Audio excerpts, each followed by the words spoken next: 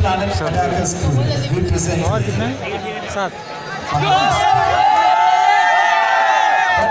कोई आते हैं ना तो ऐसा Let's go, Rohit. मन करता है। PLA Season 4. Up next, representing Maharashtra. The E-Planet